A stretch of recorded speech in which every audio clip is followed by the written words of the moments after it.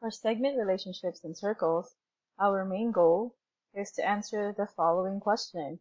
What relationships exist among the segments formed by two intersecting chords or among segments of two secants that intersect outside the circle? So first let's review some important terms. Um, let's recall what a chord is. At the same time, um, I think there's value in reviewing what a secant line is. Okay, so chord. Chord is a segment that's inside the circle and it has its two endpoints along the circumference. So one endpoint lies on one part of the circle and then it passes through the interior and then it um, has another endpoint um, on the circumference of the circle. For example, there's one endpoint and it goes inside the circle and then another endpoint still on the circumference. Okay. Um, secant. A secant line or a secant segment um, is a segment that intersects a circle at two points. What's the difference between a chord and a secant? Well, a chord does not go outside the circle, while a secant line um, may extend beyond the circumference. Like this blue line here has an external portion. So are all chords considered as secant lines or segments? Well, yes, but not the other way around. So not all secants are chords, but a chord um, may be considered as a secant segment. The first theorem we're going to look at is called the segment of chords theorem. If two chords intersect in the interior of a circle, in this case AB and CD um, are both chords and they intersect in the interior at point E, then the product of the lengths of the segments of one chord is equal to the product of the lengths of the segments of the other chord. So what does it basically mean? If you look at the figure, um, chord AB is divided into two parts. So you can think of this as your part one, while you can think of this as your part two.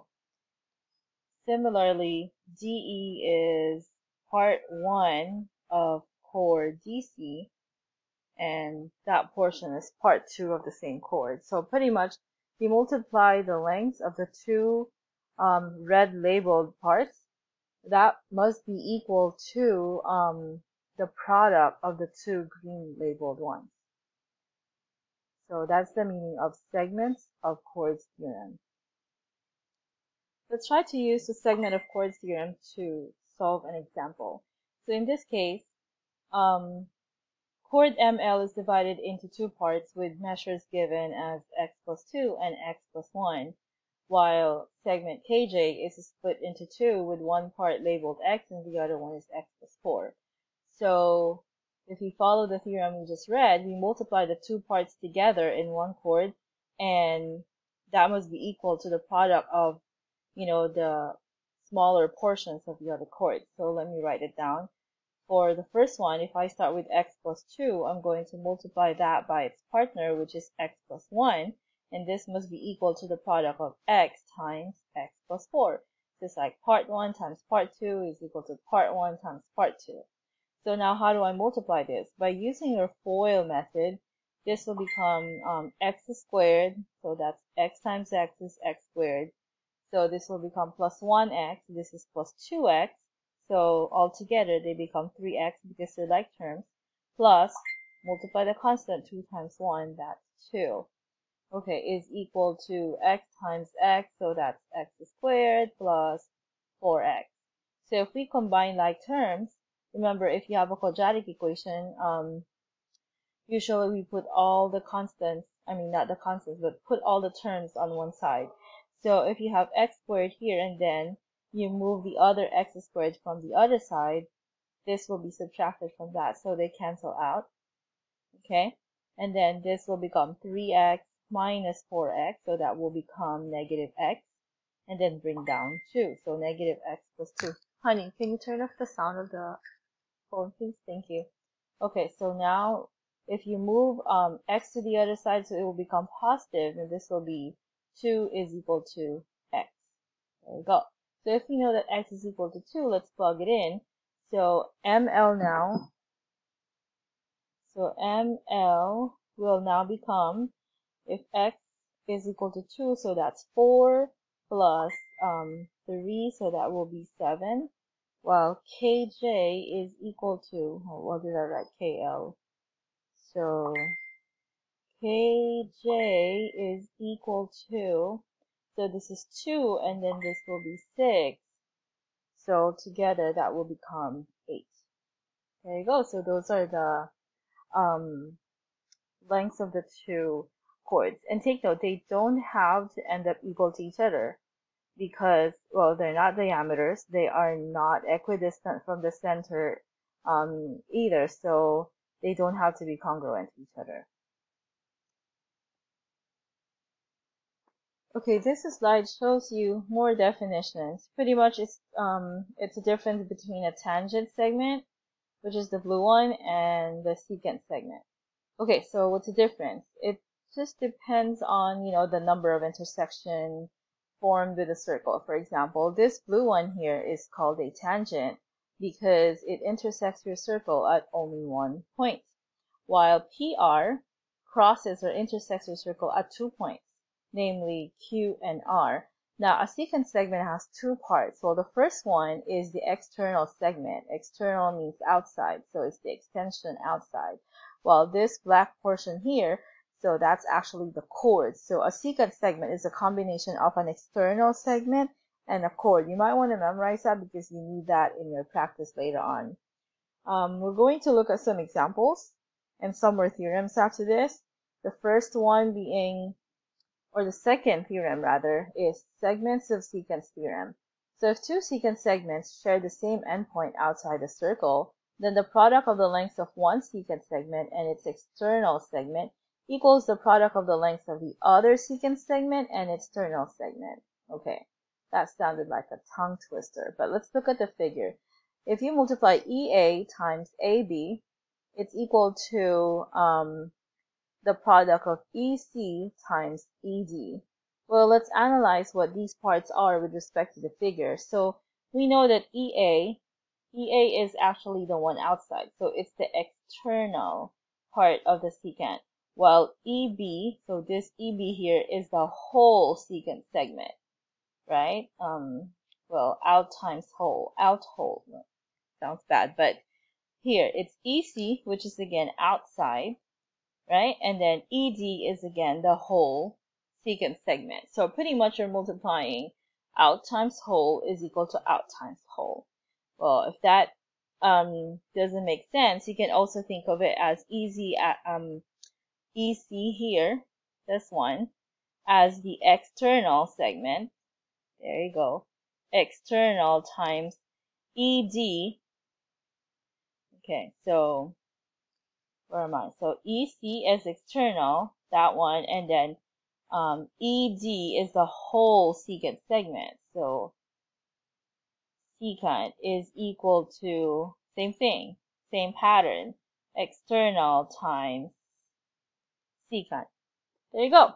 So you have two possible ways here of memorizing it, whichever makes more sense to you. You know, use that so you can easily memorize the formula here's how to use it um, in an example. So let's write down the formula again. Out times whole is equal to out times whole. So it doesn't matter which secant you begin with. The external segment here is 9. And then the whole secant is not 11. That's the chord part only. So you add them up. 9 plus 11 is 20. So equals the external portion or outside is 10 and then the whole segment is not 10x. Many of you, you know, if we were in class, we'll probably say 10x, but that's going to be 10 plus x, so you add them up. So this will be 180 is equal to Now you multiply this together or distribute, you get 100 plus 10x. Ooh, fix the plus sign right there. Okay, so combining like terms, you get um, 180 take away 100 will be 80 and then is equal to 10x. So that means x is equal to 8. There we go. Okay, so this last theorem is similar to 10.19 except that one is a tangent and the other is a secant. However, since I know that you memorized that formula very well, I'm going to use that to explain this last example. Okay, so out times whole is equal to out times whole. So if this is a tangent, it means that um, the outer portion, okay, is just the same as the whole secant, I mean whole tangent segment. That's why you see here EA to the second power.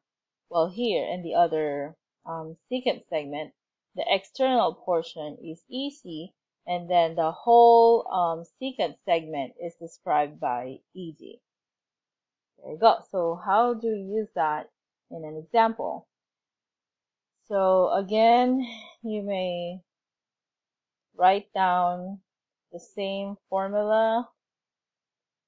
Okay, so for the RQ portion, outside segment is 16, which is the same as, you know, the entire tangent segment. And then the external portion here is x, while the whole portion is 8 plus x. So you can also write x plus 8 because addition is commutative. Okay, so this will become 256 is equal to 8x plus x squared. And just like what I mentioned earlier, um, try to, you know, move all your terms to one side since x squared is positive here, I'm going to keep it here on the right side. So this is x squared with a little bit of rearrangement. Um, x squared plus 8x minus 256. Um, so now this is a quadratic formula. Is it factorable? We don't know. If you've forgotten how to factor, um, you can also use the quadratic formula, which is negative b plus or minus the radical of b squared minus 4ac all over 2a, where a is the coefficient next to x squared, which is 1. Your b is 8, and then your constant c is the, um, okay, this value here, negative 256. So negative b means the, the opposite of 8. So this will become negative 8 plus or minus radical of 8 squared minus 4 times 1 times the c, which is negative 256, all over 2 times 1, so that will become 2. So now let's make some calculations. So we will get negative 8 plus or minus the root of, this will become 64 minus, no, that will change into plus. Oops.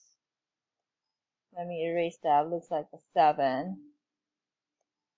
Okay, so that will turn to plus um, 1024 all over 2.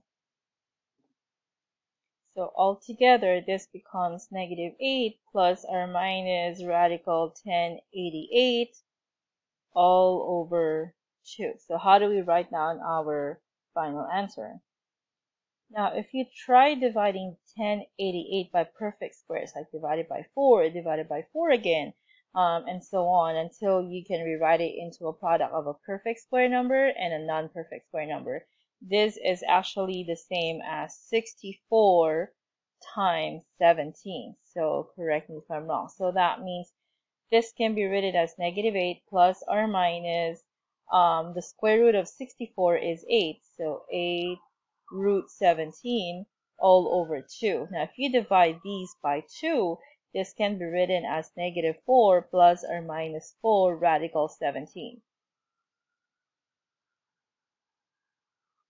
So if we solve these two separately, um, negative 4 minus 4 times, you know, radical 17, that will result to a negative number. So that means we're only going to consider negative 4 um, plus for radical 17. So the final value of this one by using a calculator is about 12.5 rounded off to the nearest tens.